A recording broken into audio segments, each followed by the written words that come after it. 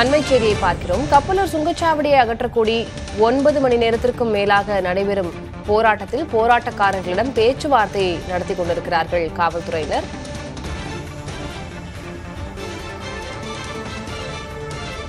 கப்பலூர் சுங்கச்சாவடியை அகற்றக்கோரி ஒன்பது மணி நேரத்திற்கும் மேலாக போராட்டம் நீடித்து வருகிறது. இந்நிலையில் திங்கட்கிழமை முத்தரப்பு பேச்சுவார்த்தைக்கு ஏற்பாடு செய்வதாக போராட்டக்காரர்களிடம் உறுதியளித்து காவல்துறையினர் அவர்களோடு பேச்சுவார்த்தை நடத்தி வருகிறார்கள். உள்ளூர் வாகனங்களுக்கு விலக்களிப்பதாக எழுத்துப்பூர்வமாக உறுதியளிக்க வேண்டும் என்பது பொதுமக்களின் வலியுறுத்தலாக இருக்கிறது.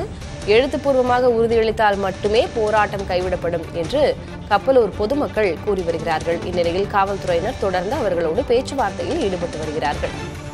திங்கட்கிழமை முத்தரப்பு பேச்சுவார்த்தைக்கு ஏற்பாடு செய்கிறோம் என்று காவல்துறையினர் உறுதியளிக்கிறார்கள். ஆனாலும் போராட்டக்காரர்கள் அதனை ஏற்பதாக தெரியவில்லை.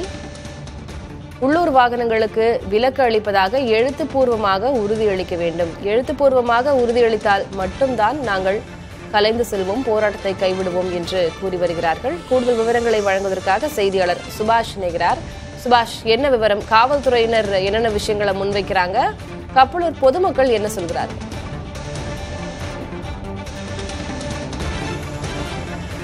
கண்டிப்பாக திலகவதி கப்பலூர் சுங்கச்சாவடியில் புதிய கட்டண விளக்கானது இன்று முதல் அமலுக்கு வரும் நிலையில் இதனை எதிர்ப்பு தெரிவித்து இந்த உள்ளூர் வாகன ஓட்டிகள் இன்று காலை ஒன்பது மணி முதலே போராட்டத்தில் ஈடுபட்டு வருகின்றனர். இந்த போராட்டத்தில் முன்னாள் அமைச்சர் ஆர் பி உதயகுமார் உள்ளிட்டோர் இந்த ஆயிரத்துக்கும் மேற்பட்டோர் இந்த போராட்டத்தில் ஈடுபட்டு வருகின்றனர். இந்த புதிய கட்டண விளக்கானது ஏற்கனவே மாவட்ட நிர்வாகம் சார்பாக முழு உள்ளூர் வாகன ஓட்டிகளுக்கு முழு விளக்கானது அளிக்கப்பட்டிருந்த நிலையில் தற்போது இந்த மாதாந்திர கட்டணமும் ஐம்பது சதவீதம் கட்டணமானது விதிப்பதற்காக இன்று முதல் அமலாகும் என தெரிவித்த நிலையில் தற்போது இந்த சுங்கச்சாவடி உள்ளூர் வாகன ஓட்டிகளை முற்றுகையிட்டு தற்போது காலை முதலே போராட்டத்தில் ஈடுபட்டு வருகின்றனர்.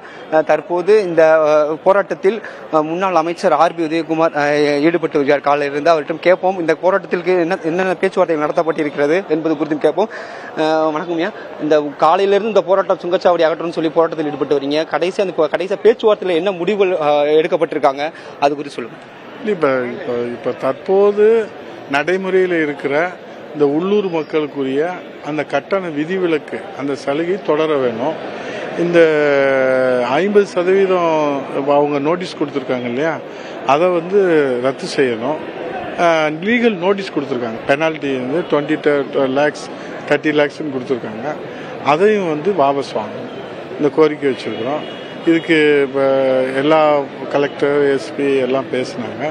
அஹ் போராட்டக்குழுவும் பேசினாங்க. அனைத்து கட்சியுடைய பிரதிநிதிகளும் பேசினாங்க. இப்போ உள்ள பேசிக்கிட்டு இருக்காங்க. நகாய் அவங்க மேனேஜர் அவங்களோட பிடி வந்தார். அவங்களோடையும் பேசினாங்க. இப்போ தற்காலிகமாக இப்போ இருக்கக்கூடிய இந்த நிலையே தொடரணும். அப்புறம் பீஸ் கமிட்டியில் நம்ம ஒரு பெர்மனன்ட் சொல்யூஷன் இது வந்து வயலேஷன் ஆஃப் ரூல்ஸ் அண்ட் ரெகுலேஷன்ஸில் வயலேஷன் இருக்குது அதை கன்சிடர் பண்ணி இதை ஷிஃப்ட் பண்ணணும். இப்போ போராட்டக்காரர்கள் இப்போ வந்து எழுத்துப்பூர்வமாக வந்து தந்தாவன் தான் அந்த போராட்டத்தை கைவிடுவதாகவும் சொல்லியிருக்காங்களே அது தரப்பாக என்ன இப்போ போராட்டக்காரர்கள் அடுத்த கட்ட நடவடிக்கை என்ன பண்ண போறீங்க அது சம்மந்தமாக அப்படி அப்படிதான். காலையில் எங்களை கைது பண்ணாங்க. திரும்ப எல்லாரும் இவங்க பொதுமக்கள் எல்லோரும் போராட்டம் பண்ணி அப்புறம் பேச்சுவார்த்தைக்கு அழைச்சாங்க. ஆடியோ அலுவலகத்தில் பேச்சுவார்த்தை நடத்தினாங்க. பிடி வந்தார் நகாய் பிடி வந்தார். அவங்களும் பேச்சுவார்த்தைனா அவங்க என்னென்னா ஓரலாக தான் எங்களால் சொல்ல முடியும். வாய்மொழியாக சொல்ல முடியுமே தவிர எங்களால் எழுத்துப்பூர்வமாக சொல்ல முடியாது. நாங்கள் ஹையர் அத்தாரிட்டியோட இது பண்ணோம். இப்போ டிரான்ஸ்போர்ட் செக்ரட்டரி இது பண்ணோம். கலெக்டர் ஒரு இது குறித்து ஒரு விரிவான கடிதம் அரசு கொடுத்துருக்குறாங்க. அந்த காப்பியை எங்களுக்கு கொடுத்தாங்க. அதில் விரிவாக சொல்லப்பட்டிருக்கிறது.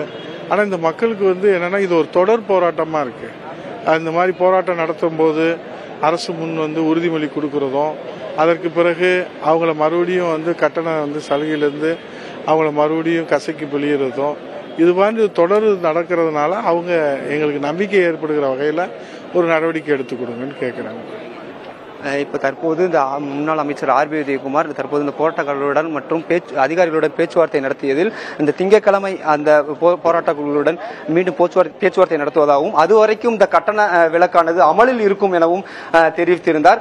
தொடர்ச்சியாக இந்த போராட்டமானது எழுத்துப்பூர்வமாக தந்தால் வழியே இந்த போராட்டத்தை கைவிடுவதாகவும் போராட்டக்குழுவினர் தற்போது தெரிவித்து வருகின்றனர். திலகவதி. உங்களுடைய கள விவரங்களுக்கும் கலந்துரையாடலுக்கும் நன்றி சுபாஷ்.